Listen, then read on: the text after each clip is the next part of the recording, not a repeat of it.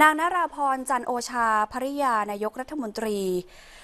นำคณะคู่สมรสของผู้นำประเทศสมาชิกอาเซียนที่เข้าร่วมประชุมสุดยอดผู้นำอาเซียนครั้งที่ 34 จาก 6 ประเทศ ประกอบไปด้วยอินโดนีเซีย ลาว มาเลเซีย สิงคโปร์ ฟิลิปปินส์ แล้วก็เวียดนาม รวมถึงผู้ติดตามก็คือคู่สมรสของรัฐมนตรีประเทศอาเซียน รวมทั้งคู่สมรสเอกอัครราชทูต เข้าเยี่ยมชมพิพิธภัณฑ์ทสถานแห่งชาติ เรือพระราชพิธี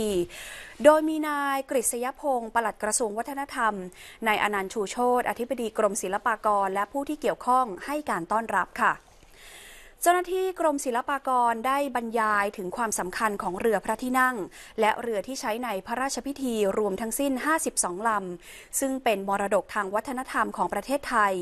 มีเอกลักษณ์ความงดงามหนึ่งเดียวในโลก รวมทั้งมีความสำคัญเกี่ยวเนื่องกับสถาบันพระมหากษัตริย์ ตั้งแต่สมัยอยุธยา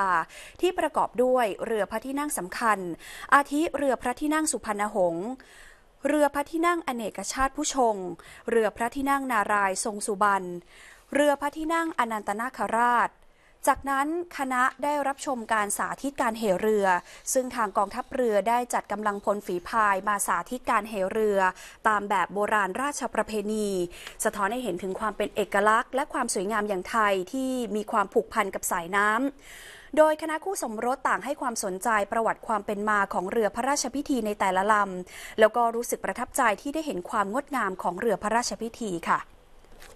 ทั้งนี้กรมศิลปากรเองนะคะ ก็ได้ร่วมกับกองทัพเรือดูแลเรือให้พร้อมสำหรับพระราชพิธีอย่างต่อเนื่องโดยเฉพาะในช่วงปลายเดือนตุลาคมนี้ค่ะ ประเทศไทยเองได้เตรียมความพร้อมจัดงานสำคัญ เนื่องในงานพระราชพิธีบรมราชาพิเศษพุทธศักราช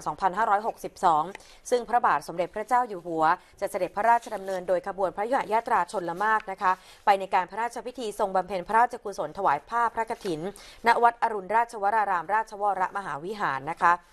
ซึ่งภายหลังจากการชมเรือพระราชพิธีเสร็จแล้วเสร็จเนี่ยนะคะภริยานายกรัฐมนตรีของไทยก็ได้เป็นเจ้าภาพเลี้ยงอาหารกลางวัน แก่ผู้สมรส แก่คู่สมรสผู้นำอาเซียนที่โรงแรมแชงกรีลาพร้อมเยี่ยมชม แล้วก็เลือกซื้อผ้าทอมือย้อมจากวัสดุธรรมชาติ และการสาธิตการประดิษฐ์งานหัตถกรรมและขนมไทยโบราณ โดยวิทยาลัยในวังหญิง และการบรรเลงเพลงอาเซียนโดยใช้เครื่องดนตรีไทยค่ะ และเมื่อเสร็จสิ้นภารกิจการประชุมสุดยอดอาเซียนครั้งที่ 34 ผู้นำประเทศต่างๆ ค่ะ ทยอยเดินทางกลับ โดยที่ท่าอากาศยานทหาร 2 กองบิน 6 ดอนเมือง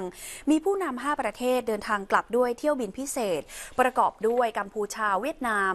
เมียนมา อินโดนีเซีย แล้วก็มาเลเซีย ส่วนที่ท่าอากาศยานดอนเมืองมีผู้นำ3ประเทศเดินทางกลับด้วยเที่ยวบินพิเศษ ก็คือผู้นำสิงคโปร์ประธานาธิบดีบรูไนและประธานาธิบดีแห่งสาธารณรัฐ ฟิลิปปินส์ขณะที่ผู้นำประเทศสุดท้ายที่จะเดินทางกลับ ในวันนี้นะคะก็คือนายทองลุนศรีสุริศ นายกรัฐมนตรีสาธารณรัฐ ประชาธิปไตยประชาชนลาว มีกำหนดเดินทางกลับด้วยเที่ยวบินในช่วงเช้า